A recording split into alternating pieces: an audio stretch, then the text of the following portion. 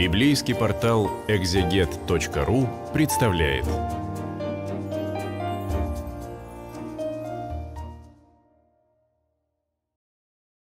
Здравствуйте, братья и сестры, все любящие чтение Слова Божия. Мы продолжаем с вами изучение книги Ветхого Завета «Бытие» на библейском интернет-портале exeget.ru. И с вами снова сегодня я, Сладков Андрей Иванович, декан миссионерского факультета Российского православного университета. И мы читаем с вами 23 главу. Жизни Сариной было 127 лет. Вот лета жизни Сариной, и умерла Сара в Кириаф-Арбе, что ныне Хеврон, в земле ханаанской, и пришел Авраам рыдать по Саре и оплакивать ее. И отошел от Авраам от умершей своей, и говорил сынам Хетовым, и сказал, «Я у вас пришелец и поселенец, дайте мне в собственность место для гроба между вами, чтобы мне умершую мою сохранить от глаз моих». Сыны Хетта отвечали Аврааму и сказали ему, «Послушай нас, господин наш, ты князь Божий посреди нас. В лучшем из наших погребальных мест похорони умершую твою. Никто из нас не откажет тебе в погребальном месте для погребения умершей твоей». Авраам встал и поклонился народу до земли, той сынам Хетовым, и говорил Авраам, и сказал, «Если вы согласны, чтобы я похоронил умершую мою, то послушайте меня. Попросите за меня Ефрона, сына Цахорова, чтобы он отдал мне пещеру Махпелу, которая у него на конце поля его, чтобы за довольную цену отдал ее мне посреди вас в собственность для погребения. Ефром же сидел посреди сынов Хеттовых, и отвечал Ефром Хитьяин Авраам, слух сынов Хетта, всех входящих во ворота города его, и сказал, «Нет, господин мой, послушай меня, я даю тебе поле и пещеру, которая на нем. Даю тебе перед очами сынов народа моего, дарю тебе ее, похорони умершую твою. Авраам поклонился перед народом всей земли и говорит Ефрону вслух, народа земли то и сказал, «Если послушаешь, я даю тебе за поле серебро, возьми у меня, и я похороню там умершую мою». Ефрон отвечал Аврааму и сказал, «Господин мой, послушай меня, земля стоит 400 сиклей серебра. Для меня и для тебя что это? Похорони умершую твою». Авраам, послушал Ефрона, отвесил Авраам Ефрону серебро, сколько он объявил слух сынам Хетовым, 400 сиклей серебра, какой уходит у купцов. И стало поле Ефронова, которое примих пели против Мамри, поле и пещера, которая на нем, все деревья, которые вокруг, и поле во всех пределах его, и вокруг владением Авраамом перед очами сынов Хета, все входящих во врата города его. То есть Такая интересная история, 23 глава, она коротко по своему содержанию, но мы видим, что жена Авраама, Сара, э, прожив 127 лет, умирает, и Авраам заботится о том, оплакивая ее, заботится о том, где похоронить ту, которая, в общем, была его верной спутницей на протяжении всей жизни, помощницей и заступницей, э, прообразы все, которые можно только приложить к благонравной жене.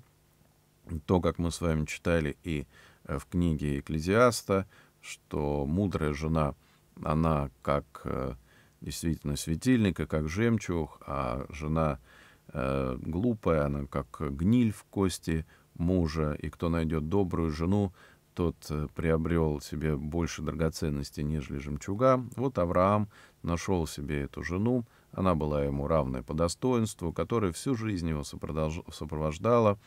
Э, делили они вместе и радости, и печали, и испытания. Все было. И вот теперь э, Сара умирает, и Авраам проявляет эту заботу, где похоронить ее, ее единственную э, жену, и здесь он пришел, как сказано, отошел от Авраам, умерший своей, и говорит, я у вас пришелец и поселенец, дайте мне в собственность место для погребения между вами, чтобы мне умершую мы сохранить от глаз моих. И мы помним, как мы все прочитали, сыны Хетова говорят, возьми любое место, которое ты считаешь нужным, и похорони любящую твою жену, твою. Но Авраам не хочет, как мы с вами видели уже неоднократно, ничего Э, попадать в какую-то зависимость от людей века сего. Мы помним, когда ему навстречу вышел царь Содомский и Мгоморский, он э, ему говорил о том, что возьми у меня как некую контрибуцию, но Авраам сказал, которого он освободил, Авраам сказал, даже нитки не возьму у тебя, чтобы ты не сказал, что ты обогатил меня.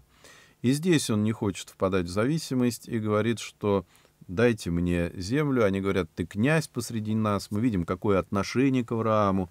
Но мы видим, как и Авраам относится к этим людям. Сказано, он поклонился им до земли.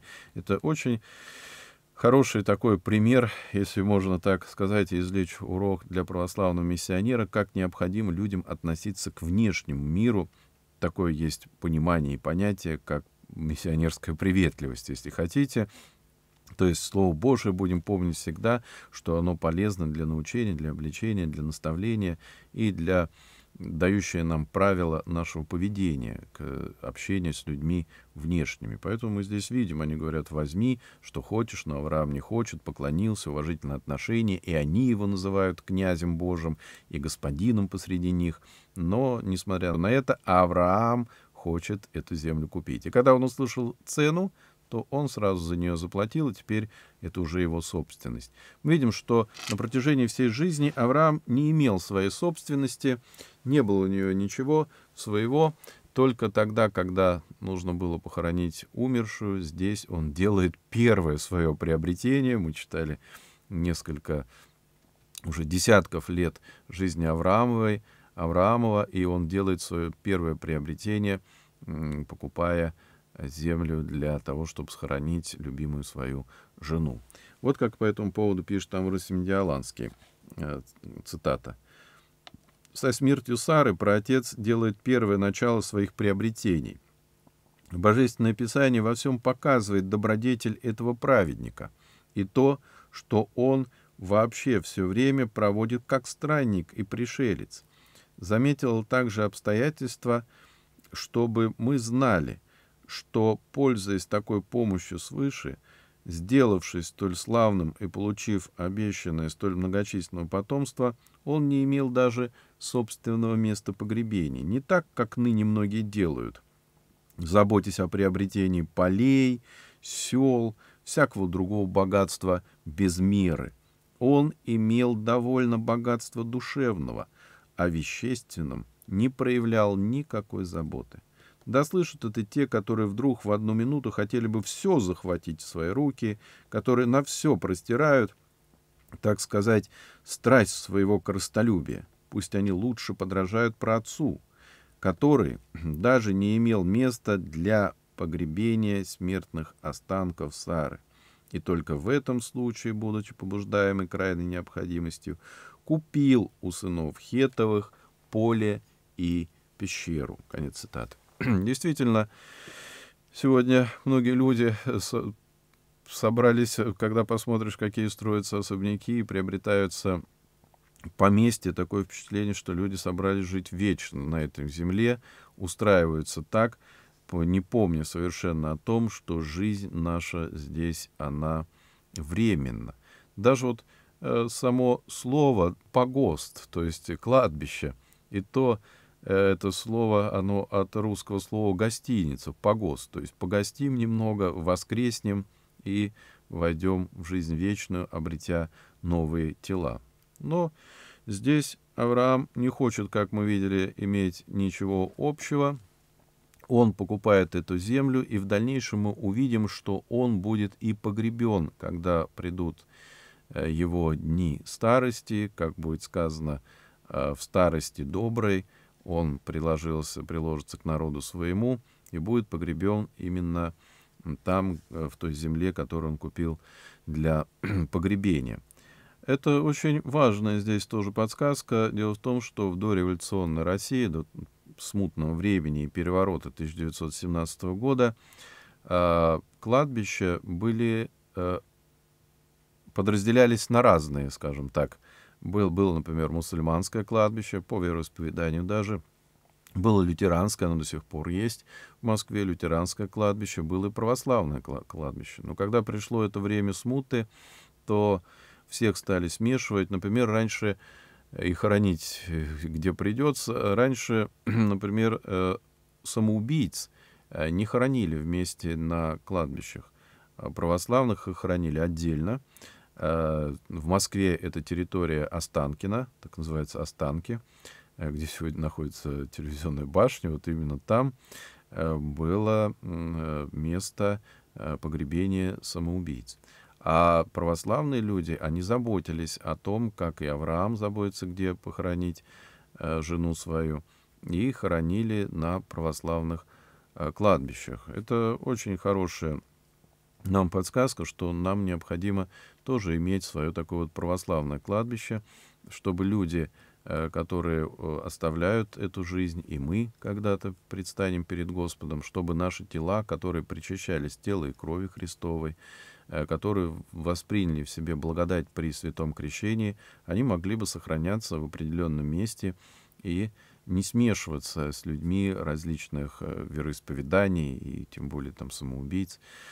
Важное очень такое, на мой взгляд, на мой взгляд, э, подсказка здесь, что необходимо заботиться и о том, как будет совершено наше погребение и где после этой жизни будет и покоятся наши тела до второго э, пришествия Господа и Спасителя, о котором сказано, что все люди воскреснут, как об этом апостол Павел, если хотите, коль мы затронули эту тему, если хотите, можно, в общем-то, об этом прочитать во втором послании фессалоникийцам, как апостол пишет, 4 э, глава, 14 стих, 13. «Не хочу оставить вас, братья, в неведении об умерших, дабы вы не скорбели, как прочие, не имеющие надежды». Мы видим э, здесь, что сказано, что Авраам поскорбел какое-то время, но не надо впадать в скорбь и уныние, как прочие, советует нам уже апостол Павел, не имеющие надежды.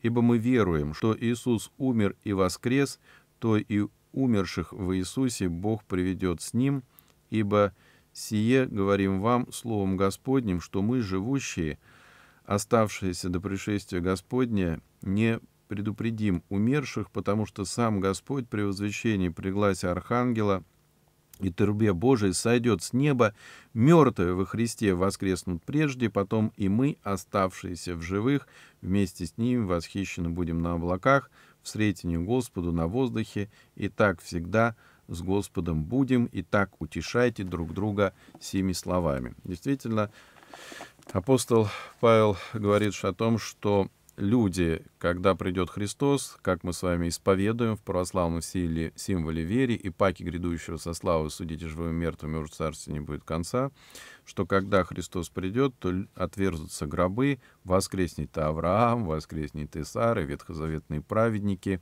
и апостолы, и э, новозаветные праведники, и те, которые в Царстве Божьем, наши родственники.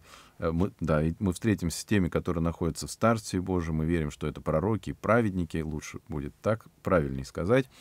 И с родственниками своими отверзутся гробы, э, потому как есть люди, которые Господь призвал уже в чудный свой свет в Царстве Христова. И э, те люди, которые не умрут, их тела обновятся, то есть они не увидят смерти первой, отделение души от тела. А, здесь э, все это описывается э, в послании апостола Павла, но здесь же в 23 главе мы видим главную заботу Авраама — это правильное погребение, и лучше всего, как мы увидим и в дальнейшем, как Авраам будет заботиться о том, где будет он находиться, где будет его погребение, лучше всего позаботиться об этом заранее. Тем не менее, эта глава, если смотреть вот так в целом, она нас научает тому, никому ничем э, лучше не быть дол- должниками, как сказано, кроме взаимной любви кроме взаимной любви. Поэтому будем это помнить, братья и сестры, будем помнить и о том, и заботиться не только о том, как нам прожить эту жизнь, но и заботиться о том, где после жизни будут находиться наши умершие тела до второго пришествия Господа и Спасителя нашего Иисуса Христа.